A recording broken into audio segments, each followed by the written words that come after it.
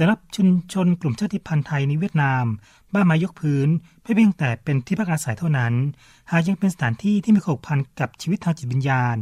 เพื่อที่เก็บรักษาเอกลักษณ์วัฒนธรรมดั้งเดิมอย่างหลากหลายและสมบูรณ์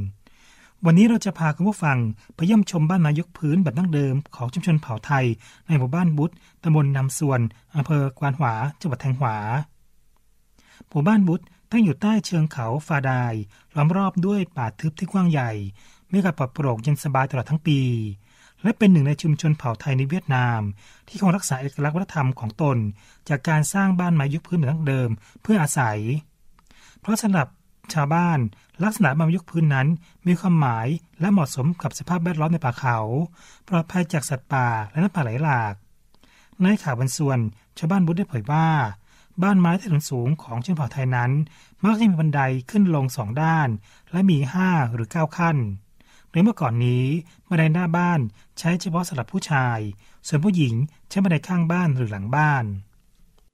cầu thang không riêng gì người Thái mà các dân tộc khác đều là cái linh hồn của nhà sàn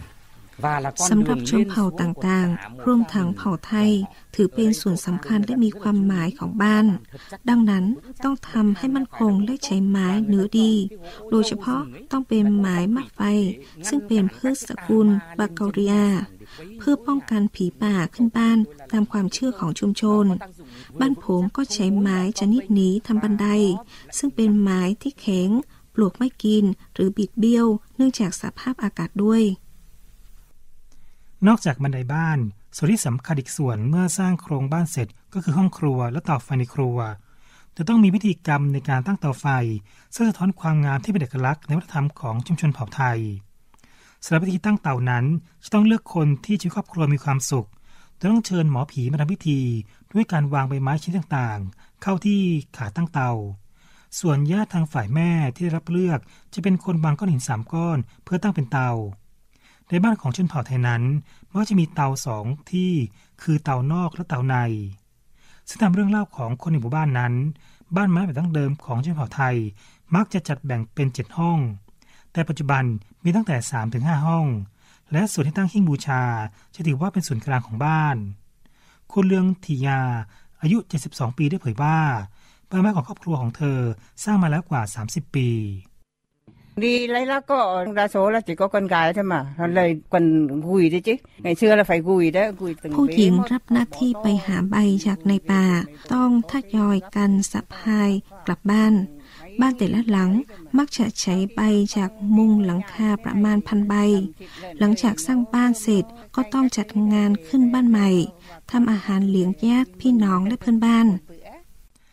ในวิถีชีวิตนั้น ชาวเผ่าไทยก็เหมือนกับชาวเผ่าอื่นๆ ที่เชิดชูความสามัคคีในชุมชน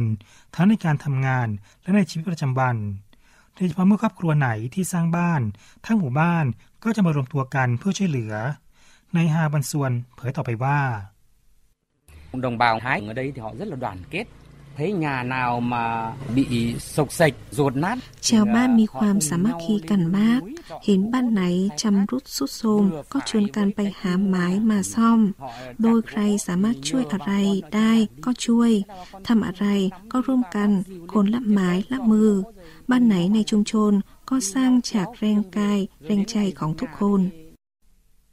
ปัจจุบันหมู่บ้านบุตรมีกว่าหนึ่งร้อยครัวเรือน และยังใช้ชีวิตในบ้านไม้ยุคพื้นแบบตั้งเดิม ที่สืบทอดกันมาจากบรรพบุรุษ แม้จะผ่านไปแล้วหลายสิบปี แต่บ้านไม้โบราณใต้ถุนสูง พร้อมด้วยเอกลักษณ์วัฒนธรรมที่โดดเด่นในชุมชน ได้เป็นไฮไลท์ ดึงดูดผู้คนมาศึกษาค้นคว้าวิถีชีวิตของชาวเผ่าไทยในเขตเขาของจังหวัดแทงหวา